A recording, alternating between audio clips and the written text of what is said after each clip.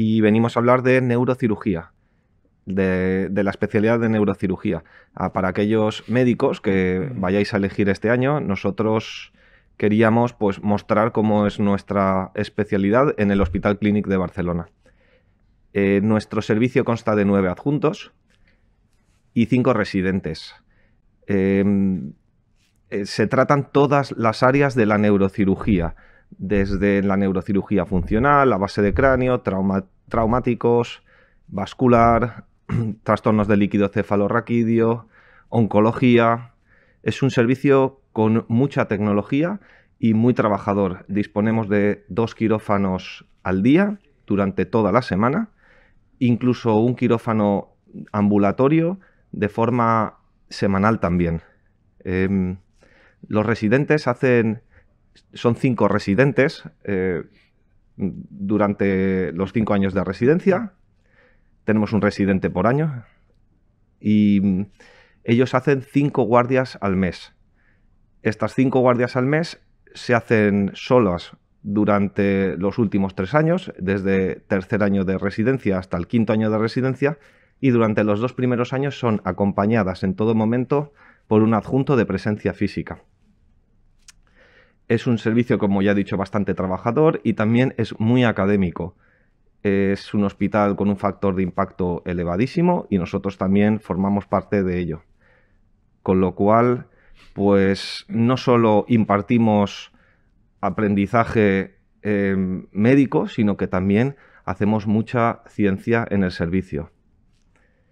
Em, em, los residentes libran las guardias, todas las guardias son libradas y, y más cosas.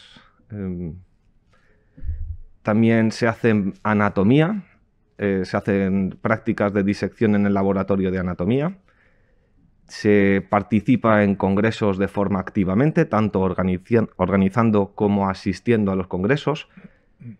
Y los residentes desde el primer año, vamos, desde el primer día, ellos operan activamente con nosotros y aprenden muchísimo eh, en las cirugías. La verdad es que somos un servicio que permite a los residentes eh, ayudarnos activamente en las intervenciones quirúrgicas, con lo cual al final de la residencia están muy bien formados para poder trabajar en cualquier hospital de eh, España seguramente y si se quisieran ir al extranjero también son residentes muy bien formados, tanto a nivel científico como a nivel académico y médico. Mm.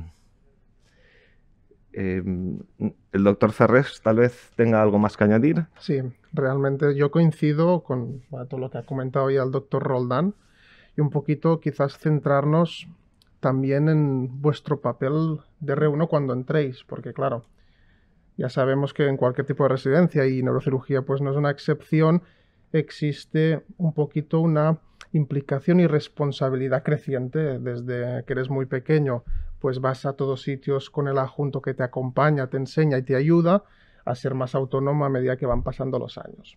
Entonces, inicialmente, y eso es importante, es un aprendizaje tutelado, es decir, vosotros nos tendréis que enfrentar a cosas que por cuestiones obvias, si no tenéis inicialmente el conocimiento, pues tengáis que resolver estos problemas, estas situaciones clínicas que en neurocirugía, pues algunas de ellas pueden ser complejas. Por esto yo creo que nos tenéis que preocupar.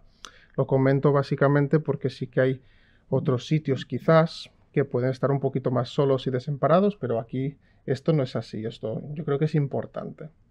Cosas un poquito más prácticas. Normalmente el horario de llegada es a las ocho y media, que nosotros hacemos la sesión con, con los adjuntos. Esta sesión es el pase de guardia. ¿Vale? Aquí se comenta todo lo que ha pasado en la guardia y se repasan todos los pacientes que tenemos ingresados. Una vez hecho esto, cada uno pues se distribuye con su tarea asistencial. En general, los que siempre bajan a quirófano pues somos los resis mayores, muchas veces acompañados incluso también de resis pequeños y el adjunto responsable de cada caso. Sí que es cierto que desde inicio la tarea asistencial será pues un poquito más médica, de saber llevar bien la sala, de saber atender bien las urgencias, pero eso no quita que se pueda bajar a quirófano, porque una vez pasada la sala hechas las cuatro cosas que puedan quedar en la urgencia, lo recomendable es bajar a quirófano para empezar un poquito a hacer manos. Yo creo que es uno de los factores o virtudes de este servicio, que realmente tú sales de aquí sabiendo operar, no diciendo que sabes operar, que esto puede pasar en cualquier sitio, sino realmente sabiendo operar. Y eso es muy, muy importante. Más cositas así prácticas.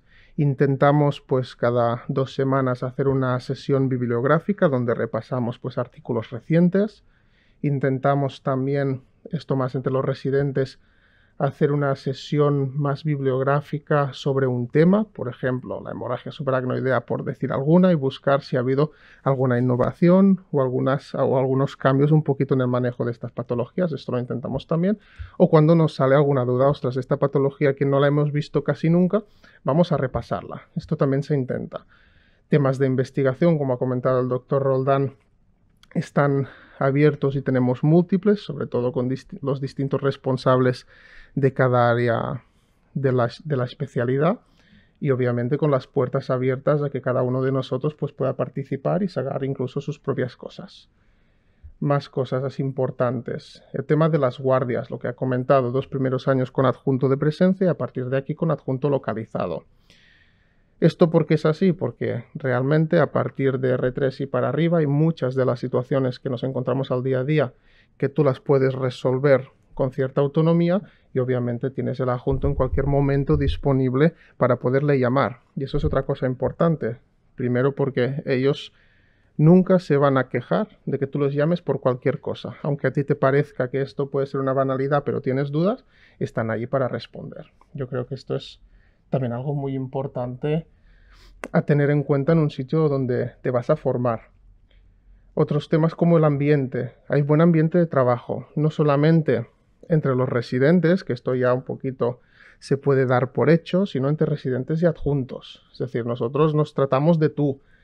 Ah, una vez salimos del hospital, pues si un día nos quedamos a tomar unas bebidas en algún sitio, pues nos podemos quedar en cualquier momento tienes cualquier adjunto disponible y esto yo creo que es muy importante y enriquecedor para la convivencia también dentro del trabajo.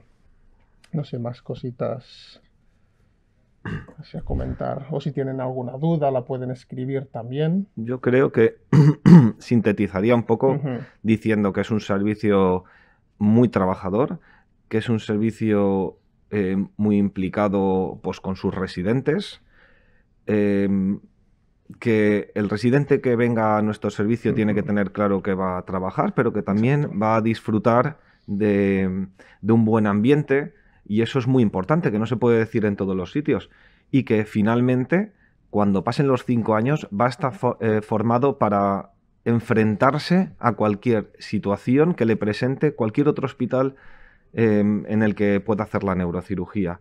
Y al fin y al cabo creo que eso es lo más importante para un residente, que durante los cinco años en los que uno vaya a estar aquí vaya a estar a gusto y sepa que cuando termine va a estar bien formado y seguramente tenga trabajo donde sea, porque somos uno de los servicios con unos residentes más cotizados. Y eso es muy importante.